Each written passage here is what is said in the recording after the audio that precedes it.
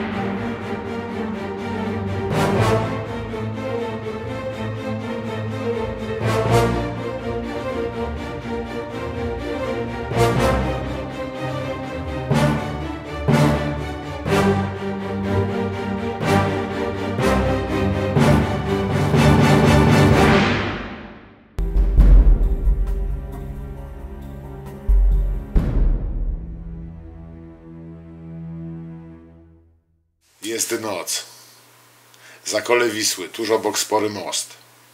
Z drogi na Kielce zjeżdżają dwa samochody. Nad rzeką jest ciemno, widać tylko ich światła. Jadą polną drogą wzdłuż wału. Po przejechaniu kilometra zatrzymują się. To dobre miejsce. Oddalone od szosy, a od najbliższych domów we wsi osłonięte nasypem. Zostawiają włączone światła. Wysiadają z samochodów. Powietrze jest rześkie po burzy, gorąca, po upalnym dniu ziemia intensywnie paruje. Z drzew spadają ostatnie krople deszczu. Wierzby płaczące rzucają cień na poruszające się nad rzeką osoby. Mężczyźni otwierają drzwi jasnego poloneza, wyciągają ciężko pobitą dziewczynę wprost na trawę. Iwona resztką sił wstaje. Jeszcze próbuje uciekać, biegnie kilkadziesiąt metrów w stronę wsi, w stronę domostw, ludzi. Wdrapuje się po wale, ale jest ślisko, bo trawa mokra. Przewraca się, wtedy ją dopadają. Mocne uderzenie drewnianą sztachetą w tył głowy powala ją na ziemię. Iwona upada na twarz, traci przytomność. Za nogi ściągają ją w dół. Jeden z mężczyzn, wielki i zwalisty, podchodzi do ogrodzonego wybiegu dla zwierząt. Odrywa z niego dwa długie drewniane patyki i stalowy drut, lekko skorodowany. Podchodzi do Iwony, klęka nad nią okrakiem. Pozostali stają obok, patrzą. Mężczyzna owija drut wokół szyi dziewczyny. Zamaszyście kręci jednym kołkiem, coraz mocniej naciskając na tętnicę. Zardzewiały drut wrzyna się w ciało. Iwona przestaje oddychać. Mężczyzna skręca węzeł z drutu na karku. Już pada z widowni. Ściągają jej spodnie i majtki, żeby upozorować gwałt. Podciągają bluzkę. Przesuwają ciało bliżej ścieżki biegnącej przy wale. Ręce układają wzdłuż tułowia, nogi razem. Potem szybko wsiadają do samochodów i odjeżdżają wyboistą drogą. Nie wiedzą, że na górze wału stoi Tadeusz i wszystko widzi.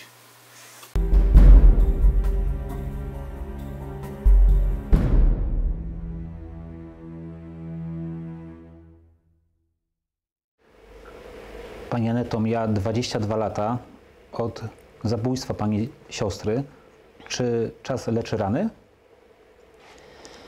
E, Czas tutaj tak naprawdę niczego nie zmienia. E, Powiem inaczej, czas pozwolił, em, pozwolił nam wszystkim em, przystosować się do tej sytuacji, po prostu mm, nawet nie zaakceptować, tylko czas nie leczy ran, tylko czas pozwala nam się przystosować do, do, do tej rzeczywistości, w której jesteśmy, do tego, co się wydarzyło. Nawet nie zaakceptować, tylko po prostu em, żyjemy, bo, bo, bo nie zaakceptowaliśmy tego, ale nie pogodziliśmy się z tym, nie zaakceptowaliśmy, ale. y, no, ale Nauczyliście się żyć? Trzeba, nauczyliśmy się żyć, po prostu, o tak. tak. No właśnie, to jest 22 lata. Jeżeli możemy przenieśmy się do tego sierpnia 98 roku, do tych ostatnich chwil, które spędziliście wspólnie z Iwoną, jak Pani wspomina swoją siostrę? Co Pani utkwiło w pamięci z tamtych wakacji? Mm, Z tamtych wakacji, czy ogólnie o Iwonie? E, Iwona, e, Iwona, Iwona. Dla jednych jedni em, pamiętają jako nieśmiałą dziewczynę, e, drudzy wręcz e, przeciwnie, taką, która e, potrafiła postawić na swoim. Ja ją pamiętam jako rzeczywiście tą nieśmiałą dziewczynę. E, kochającą dzieci, kochającą zwierzęta, nie mającą w zasadzie żadnych problemów i bardzo ufną. Myślę, że to, mm, to jest Myśl- takie. Myśli pani, że ta ufność ją zgubiła? Myślę, że ta ufność, brak czujności ją zgubiła. Natomiast no, pamiętajmy o tym, że to były lata 90.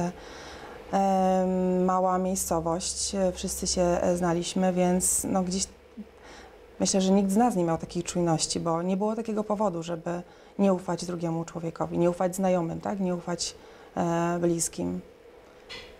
Aczkolwiek, aczkolwiek doskonale pamiętam ten dzień, ostatni dzień życia Iwony. E, I będę to powtarzała jak mantrę, że Iwona czegoś się bała. Coś, nie chcę mówić, że przeczuwała, tylko po prostu czegoś nie rozumiała, czegoś się bała. Ona to, ona, e, to e, mówiła, że coś jest nie tak, że czegoś się boi, że czegoś się obawia, że, że, że Renata ciągle gdzieś, że jej koleżanka ciągle gdzieś dzwoni, że ona nie rozumie, co się dzieje. Ona powiedziała takie niej. słowa przed tym y, feralnym dniem, że gdyby umarła, to nie chce być pochowana w Szczucinie. Tak, no, trochę legendy tutaj ym, się, do, do legendy to wręcz urosło. To było zupełnie przypadkowo. No, pamiętam, to była środa. Iwona była wtedy umówiona z Renatą. E, Renaty wtedy nie było w domu. Ona przyszła e, w zasadzie przez cały tydzień nie wychodziła od poniedziałku.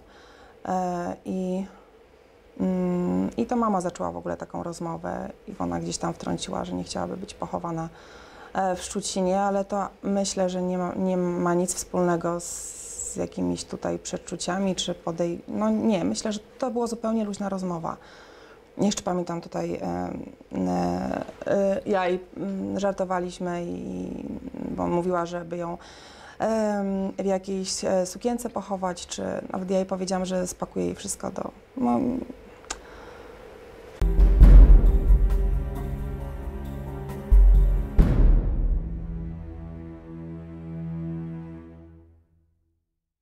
Wspomniała Pani przed chwilą, że Szczucin to mała miejscowość, dlatego ciężko i trudno było kogoś o coś podejrzewać, ale Pani przez lata powtarza, że co by było, gdybym Iwony przypilnowała jako ta starsza siostra, gdybym może wtedy ją zawołała do domu, gdybym może bardziej z nią porozmawiała. Tak zastanawiam się, czy po tylu latach ciągle te pytania Tak. wracają. Cały, cały czas i myślę, że to, e, że to się nigdy nie, nie zmieni. E, co by było, gdybym ją zawołała, co by było, gdybym ją wysłuchała do końca, co by było, gdybym wyciągnęła od niej informacji, które ona chciała opowiedzieć, a, a, a gdzieś tam mm, nie dopytywałam. Co by było, gdybym z nią poszła na spotkanie z Renatą tak, jak mnie o to prosiła. Oczywiście, że te pytania e, w głowie są moje cały czas i, i, i to niezależnie od tego, czy to będzie za 10-20, one po prostu cały czas będą. To są takie wyrzuty sumienia, można no, tak, to tak, nazwać? Tak, mam wyrzuty sumienia. Jak Pani zapamięta ten ostatni dzień, kiedy siostra Panią poprosiła, żeby Pani poszła na spotkanie z Renatą? E, Znaczy w ogóle e, utkwiło mi e, to raz z, takie sytuacje, znaczy takie momenty właśnie tragiczne w naszym życiu. No, człowiek rejestruje już do końca życia z nim zostają, nie pamięta tego, co było wczoraj, przedwczoraj, a pamięta takie sytuacje właśnie najbardziej tragiczne ze swojego życia i, i, doskonale pamiętam ten dzień, ostatni dzień, który spędziłam z Iwoną. Mm, I co zapamiętałam z niego, to, że Iwona była jak na nią bardzo wylewna. E, rzeczywiście mi dużo, dużo mówiła, ale nie mówiła otwarcie wprost, tylko stawiała pytania gdzieś i takie po raz pierwszy tak naprawdę e, w, w naszym wspólnym życiu tutaj aż tak się otworzyła. I mm, być może gdybym zapytała więcej, powiedziała, mówiła ogólnikowo, ale mówiła też, że nie ufa Renacie. I też będę to powtarzała. To nie jest moje jakieś widzimisię, to nie jest mój brak sympatii do tej osoby, ale e, czy, czy jakieś uprzedzenia, ale tak naprawdę było. Iwona cały czas powtarzała, że boi się mm, Renaty, e, że, że, że nie, wie, nie, wie, nie wie, co się wokół niej dzieje. Była e, wystraszona i po raz pierwszy w życiu poprosiła, żebym z nią poszła na spotkanie z Renatą. I zadała mi to pytanie tuż przed tym, jak, jak widziałam ją po raz ostatni. Tuż przed tym, jak ją po prostu zostawiłam. Zapytała, czy z nią pójdę. Pani Przy powiedziała, Renacie. że nie. Ja powiedziałam, że nie. Dokładnie. I okazało się, że następnego dnia pani siostra już nie żyła. A Okazało się, że następnego dnia Iwona już nie żyła i ja przyszłam, e, wróciłam do domu e, dość późno. Byłam przekonana, że Iwona jest. Mm, Zazwyczaj dom był otwarty. e, Zazwyczaj było tak, że e, znaczy rodzice by- byli pewni, że, że, że, że, że ja wrócę z Iwoną i e, dom był otwarty. Nie sprawdzałam, czy Iwona jest. Zamknęłam drzwi e, przekonana, że jest, ponieważ jak wychodziła, e, e, jak wychodziła do, do, e, miała wracać do domu, no to mówiła, że idzie do domu. E, I, i poszłam spać. No. no i rano mama, rano mama zbudziła nas, e, mówiąc, że nie ma, nie ma Iwony w domu. Jak wyglądały te pierwsze chwile, kiedy państwo zorientowali się, że Iwony nie ma?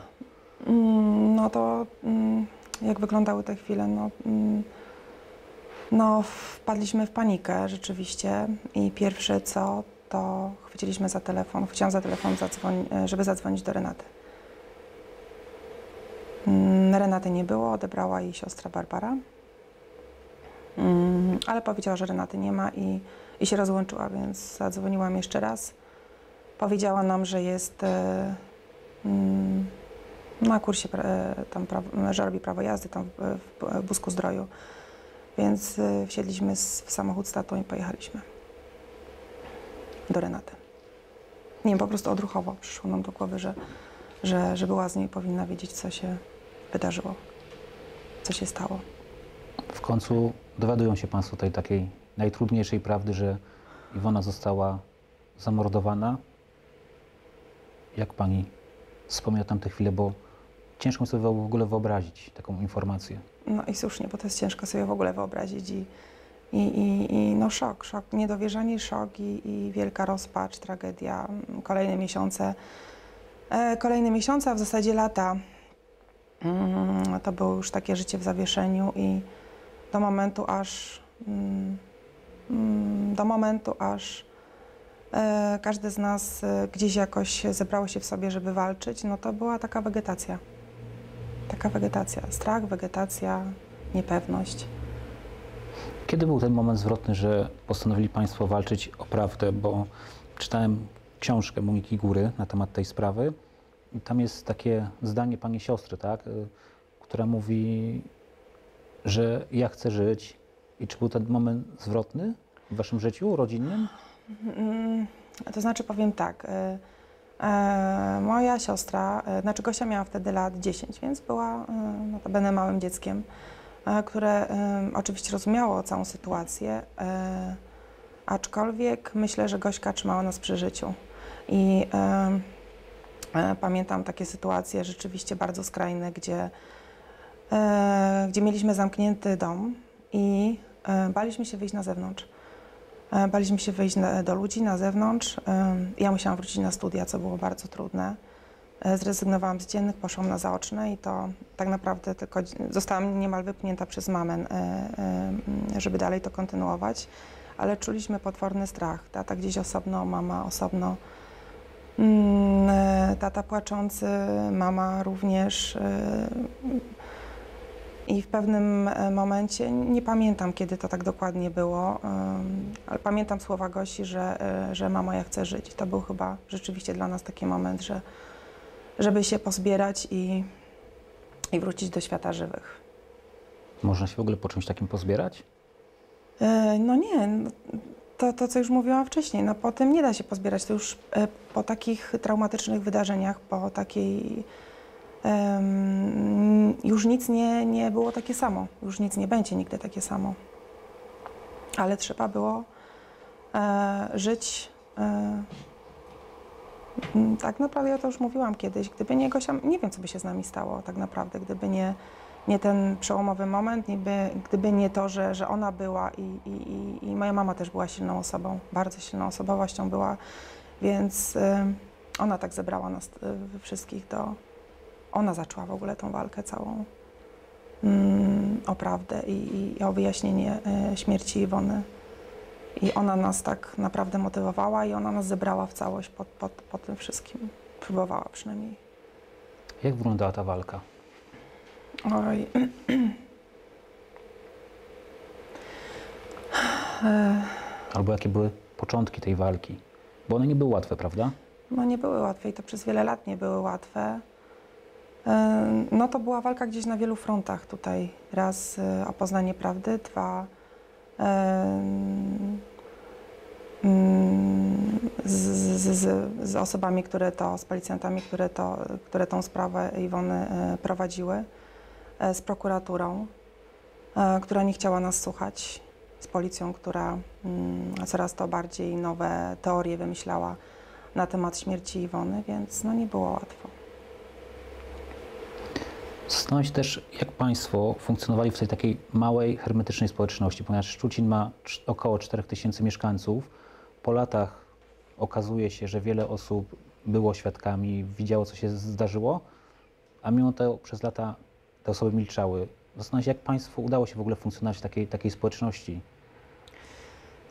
E, mm, Jak się udało funkcjonować? Ja bardzo wcześnie wyjechałam ze Szczucina,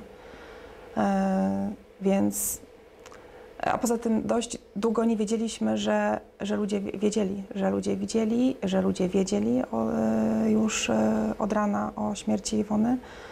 E, i też e, e, też ciężko mi e, no, jestem daleka w ogóle od oceniania tego wszystkiego, oceniania po prostu tych ludzi, którzy widzieli, a wiedzieli, a nie powiedzieli. No, ciężko, mi, ciężko mi teraz to, nie, nie, wiem w ogóle co powiedzieć, bo ciężko, nie chcę po prostu tych ludzi oceniać, nie chcę, nie chcę, ja jestem daleka od takich rzeczy i em, my też mm, po latach dopiero dowiedzieliśmy się prawdy o śmierci Iwony, o tym jak to wyglądało, więc e, ja też jestem o taką osobą, że em, że w zasadzie odcięłam się od, od tego e, wszystkiego i, i, i dla, dla nas najważniejsze było, żeby poznać prawdę i, i, i, i nie zastanawialiśmy się tak naprawdę. Ja się nie zastanawiałam, kto mógł tam być, chociaż nie, no, kto mógł tam być, to, to, to, to często te, te rzeczywiście te pytania padały, tylko e, dlaczego ludzie nas, dlaczego nikt nas nie poinformował, no ale ciężko mi oceniać w ogóle tutaj postępowanie i ciężko mi powiedzieć, dlaczego tak się wydarzyło, dlaczego nikt jej nie pomógł, dlaczego nikt nas nie poinformował e, i dlaczego tak się stało.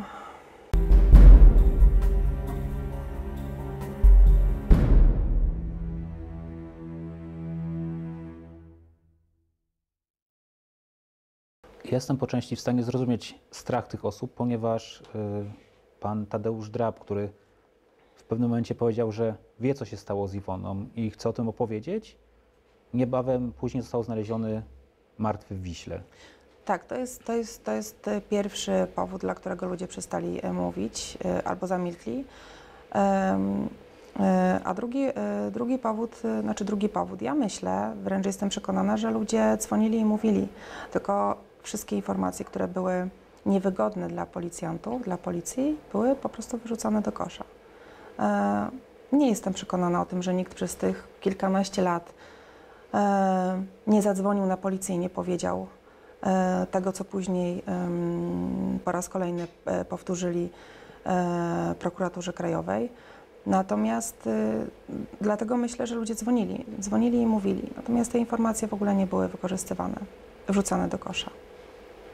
Pani wspomniała, że pani mama była takim motorem napędowym tej walki o prawdę. No, jak, jak wyglądała ta walka o prawdę? Bo z tego, co już teraz po latach wiemy, tak, y, to były zaginione dowody, mm, duża opieszałość w, w oględzinach, y, rzeczy, które zostały znalezione na miejscu zdarzenia. Tych takich, nazwijmy to, dziwnych zdarzeń było sporo w tej sprawie. Mm, No bardzo dużo. W zasadzie od samego początku, od znalezienia ciała Iwony. E, takich sytuacji, które są kompletnie niezrozumiałe. To, co Pan mówi, ta opieszałość. e, I, i e, no było tych sytuacji bardzo dużo. Jakaś taka szczególna sytuacja utkwiła Pani w głowie?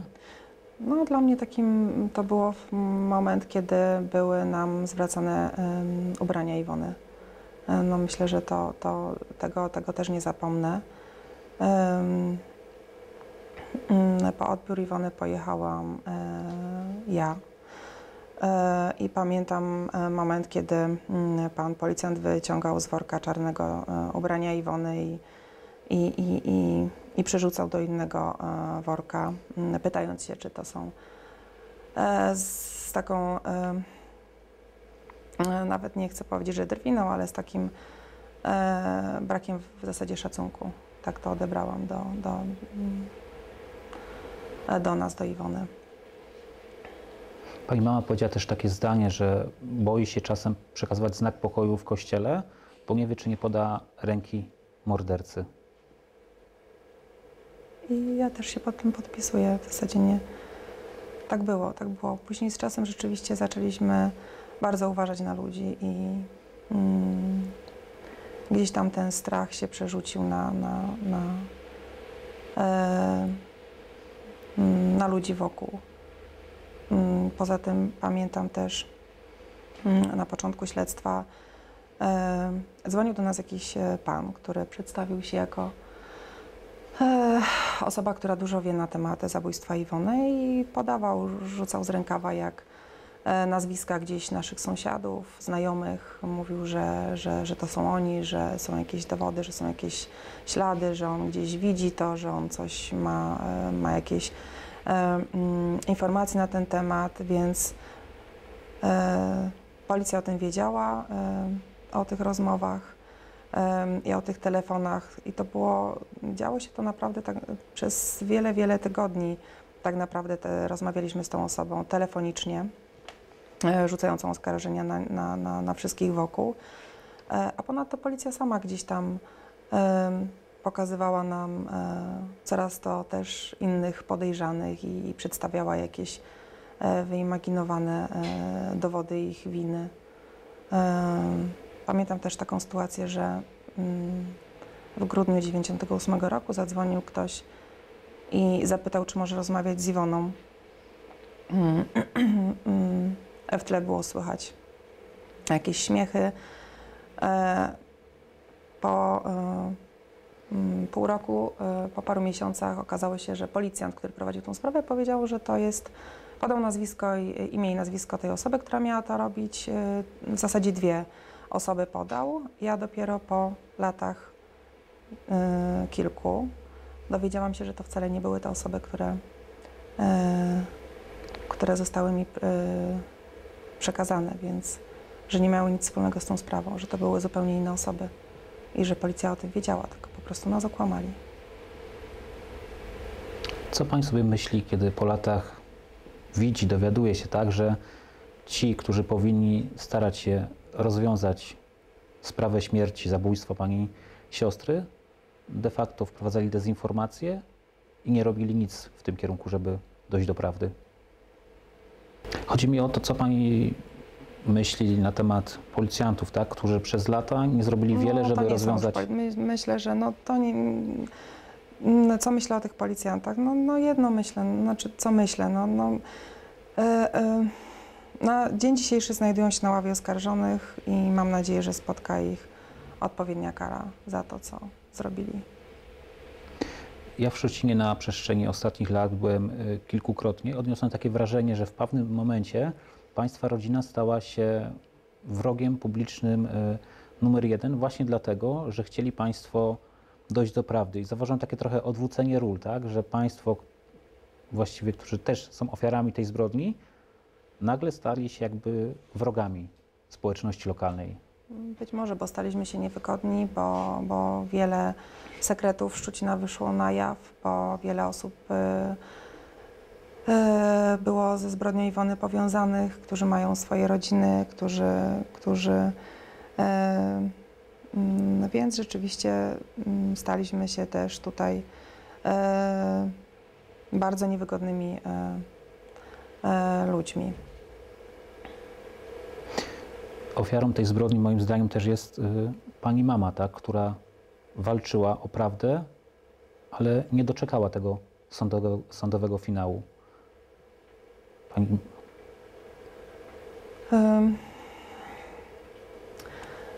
Myślę, że w pewnym momencie tak naprawdę jedynym e, celem w życiu mojej mamy było dowiedzieć się prawdy i ukarać e, tych, którzy, którzy stoją za zabójstwem Iwony, więc e, no mama poniosła, e, poniosła tak naprawdę jakąś swego rodzaju ofiarę tutaj i to, to się sprowadza do tego, że o co Pan pytał na początku, że bardzo ciężko z tym żyć. Naprawdę człowiek żyje e, cały czas ze ściśniętym sercem. I mm, moment, kiedy e, poznaliśmy prawdę, kiedy rozpoczęły się zatrzymania, kiedy rozpoczęły to nie był moment dla nas, e, trudno to nazwać było szczęściem. My, e, to był mm, innego rodzaju, ale również ból, że tyle osób, e, tyle osób było zamieszanych w śmierci Wony, tyle osób wiedziało, tyle osób pomagało i, i tyle osób jest w to zamieszanych, więc, więc, więc to, to do, śmierć mojej mamy tak naprawdę była swego rodzaju jakąś ofiarą za, mm, za te lata wszystkie e, poszukiwań i poszukiwań prawdy i walki mm, tak naprawdę ze wszystkimi, bo do pewnego momentu nie mieliśmy nikogo. Naprawdę odbijaliśmy się od ściany. Nie, nie było mm, czy wśród policjantów, policji, czy wśród prokuratury nikogo, kto w pewnym momencie, pamiętam, to zaczęliśmy się zastanawiać, czy e, my mówimy tutaj o zabójstwie, a, a, a mm, ludzie, którzy mają nam pomóc, traktują nas jakbyśmy nie wiadomo co od nich chcieli. Czy,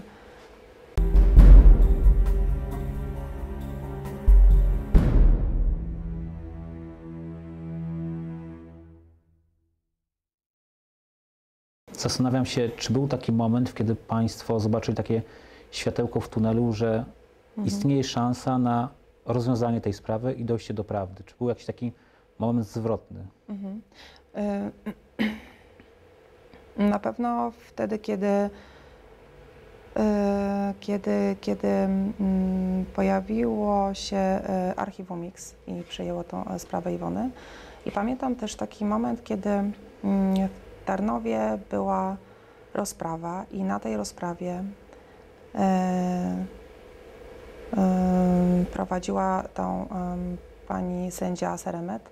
I na tej rozprawie była pokazana taśma, taśma dzisiejszego oskarżonego, e, na którym oskarżony właśnie e, jest. I, I to był taki moment, pamiętam, że moja mama powiedziała e, po tym, że, że zaczyna wszystko się układać i składać w całość i że widzi to światełko w tunelu. I tak naprawdę to była ostatnia sprawa, ostatnia, ostatni taki moment, w którym moja mama e, brała udział, bo rzeczywiście po tej rozprawie mm, zmarła. Kolejna ofiara tej zbrodni, Pani mama. Poniekąd tak, tak. Pani była w szoku, kiedy dowiedziała się, ile osób usłyszało zarzuty w tej sprawie? Wśród nich było 14 policjantów. E, tak, tak, tak jak już przed chwileczką mówiłam, e, to nie był dla nas wcale. mm, My przyjęliśmy rzeczywiście to z ulgą, że, że, e, że jesteśmy już na takim etapie, na którym powinniśmy być 20 e, lat wcześniej. Natomiast, e, natomiast było to dla nas głębokim szokiem i takim niedowierzaniem, że, że tyle osób chciało śmierci 17-latki, że tyle osób e, było zamieszanych w śmierć 17-latki. Że tyle osób wiedziało. że tyle osób wiedziało, że no to było takie rzeczywiście bardzo Pani teraz bierze trudne. udział w tych wszystkich rozprawach sądowych, widzi te osoby. Co pani myśli, tak, patrząc, że to są twarze sąsiadów, znajomych, których pani miała na co dzień przez te lata, przyjeżdżając do Szczucina? No, widzę e, bardzo pewnych e, siebie gdzieś tam e, już byłych policjantów i e, jak pan chce zapytać, czy widzę w nich jakąkolwiek. Pamiętam na pierwszej rozprawie gdzieś doszukiwałam się tej skruchy. Policjantach oczywiście i nie znalazłam jej absolutnie w ani jednym. Nie, czeka, nie czekaliśmy absolutnie, nie czekamy na jakieś słowa tutaj, przepraszam, e, czy, czy e, z ich strony, natomiast e, żadnej skruchy ze strony ani jednego nie, nie odczuliśmy. Pani myśli, że kiedyś te słowa przepraszam padną Ze strony policjantów? ze strony oskarżonych? A no, no jeżeli chodzi o oskarżonych, to mm, nawet o tym nie myślę i, i, i, i nie- mm, przez myśl nie przyszło, że oni mogliby takich słów użyć. Natomiast y, jeden z policjantów poprosił nas o wybaczenie. E, a potem zmienił e, zdanie, więc, na, więc ich tak naprawdę pro, y, ich tak naprawdę tutaj słowa nie są nic warte i, i, i nic nie znaczą, nic nie zmienią. Ja tak obserwując ten proces z boku, to też mam takie wrażenie, że znowu mamy takie trochę przewartościowanie, że oskarże, ze oskarżonych robione są ofiary, a z państwa rodziny robieni są wręcz y, oskarżyciele, tak? Y, że to państwo są tą stroną tutaj złą, tak? Że z jednej strony mówimy o tym, jacy ci policjanci i ci oskarżeni są y, biedni, bo musieli siedzieć w tymczasowym areszcie, a z drugiej strony nikt nie pamięta o tym, ile państwo przez te 20 lat wycierpieli.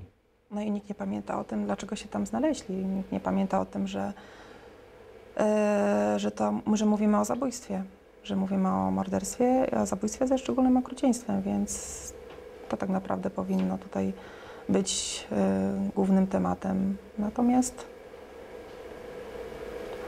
ja myślę, że to jest specyfika właśnie e, takich procesów, że to będzie się e, z rodziny robiło tych złych czy z ofiary. Pani miała okazję porozmawiać z którąś z tych osób, które siedzą na ławie oskarżonych, tak twarzą w twarz już po Mm, zatrzymaniu? Myślę, że nie dałabym rady i, i absolutnie tego nie chcę. Gdyby Pani miała taką okazję, to co by Pani powiedziała?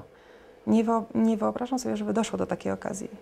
Mm, I, mm, I nawet się nad tym nie zastanawiałam, co bym im powiedziała, e, o co bym chciała zapytać. Nie wyobrażam sobie sytuacji, gdzie, miałabym z twarzą, znaczy i tak siedzimy twarzą z twarz, e, natomiast nie, absolutnie nie wyobrażam sobie, że mogłabym z nimi rozmawiać, że mogłabym o, Jest im w stanie Pani wybaczyć? Zastanawiam się nad tym.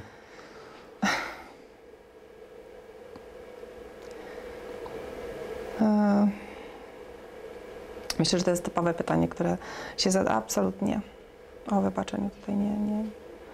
Myślę, że oni sami musieliby sobie wybaczyć. Bywa Pani w Szczucinie? możliwości. E, tak, tak. Tak.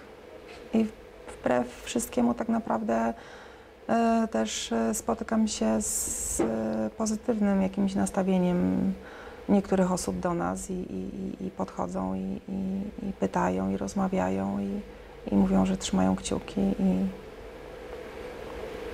No właśnie, bo część osób, bo mówiliśmy o tym strachu, o tym, że przez Mhm. lata być może milczały, ale po tych latach one zdecydowały się mówić o tym, co się wydarzyło, co widziały, mm, pokazywały dowody. mhm. Pani czuje po tych wszystkich latach wdzięczność, że udało im się wygrać z tym strachem? Tak, bo to jest e, na pewno to było bardzo trudne. Tak jak już mówiłam wcześniej, ja nie wiem, czy te osoby wcześniej nie dzwoniły i nie mówiły, e, co wiedzą, co widziały. E, Natomiast tak czuję, chcę im bardzo podziękować za to, że zdecydowały się mówić, e, zdecydowały się powiedzieć, co wiedzą, Mm, bo to na pewno nie była dla nich łatwa decyzja. Nie było dla nich łatwe stanąć tak naprawdę po tych 20 latach, 22 teraz i powiedzieć, ja to widziałem, ja to wiem, ja to słyszałem, ja tutaj byłem Ja wiedziałem o tym, że Iwona nie żyje o 7 rano. To było trudne. Chyba Ale mi na się, pewno gdzieś w tych ludziach to też się działo, bo skoro chcą o tym mówić, skoro się zgodzili i ym, mamy bardzo dużo świadków ym, anonimowych, tych, którzy y, ym, bardzo dużo wnieśli do, do sprawy, to znaczy, że, ym, że było to dla nich y, też bardzo ważne, że jest to dla nich bardzo ważne, że, że Iwona jest dla nich ważna, że, że, powie, że, że, żeby że jest dla nich ważna prawda, że, że, że chcą powiedzieć, chcą się podzielić i nie chcą po prostu dalej żyć gdzieś e, z tymi wiadomościami, które, mm, których powinni powiedzieć e, lata temu. Ja myślę, że ta trudność jest tym większa, ponieważ część policjantów, którzy są oskarżeni w tej sprawie, na wyrok czeka już na wolności, tak? Czyli świadkowie de facto mijają się z osobami, które mają zarzuty. No na pewno tak jest, aczkolwiek tutaj y, y, y, myślę, że te osoby, które się zdecydowały mówić, te osoby, które, y, które mówią, y, na pewno czują strach, na pewno się boją o, o, gdzieś o swoje zdrowie, życie, y, ale mówią i tym bardziej jestem im wdzięczna, bo żadne z nas nie wie, jakby się zachowało w takiej sytuacji, tak? e, czy strach o własną rodzinę, o własne zdrowie by nie wygrał. Natomiast tutaj jeszcze raz podkreślę to, że jesteśmy im bardzo wdzięczni za to, bo też dzięki nim mm, znamy prawdę, znamy gdzieś te elementy całej układanki się e,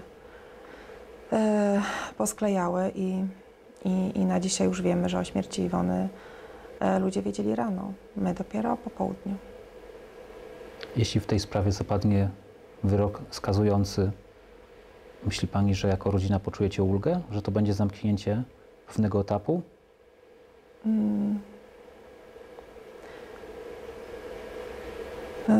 Myślę, że czy zamknięcie pewnego etapu? Pewnie tak, aczkolwiek y, ten, ten ból, który mamy i, i e, pozostanie z nami do końca życia, aczkolwiek, mm, aczkolwiek poczujemy, nie wiem czy ulgę, to mm, odpowiem na to, kiedy, kiedy będzie wyrok, y, co, co, co, co czujemy, co czuję. E, Na pewno em, przez tych 22 lata stoimy gdzieś tam nad otwartą trumną Iwony i dla jej świętego spokoju po prostu, dla niej samej chcieli, e, chciałabym, żeby to się jak najszybciej zakończyło. Dla niej samej.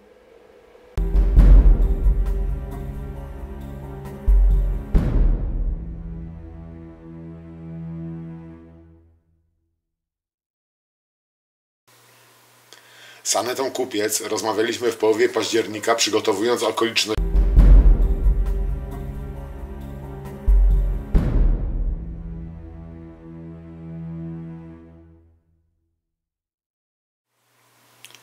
Obecnie przed Sądem Okręgowym w Rzeszowie toczy się proces w sprawie zabójstwa Iwony Cygan.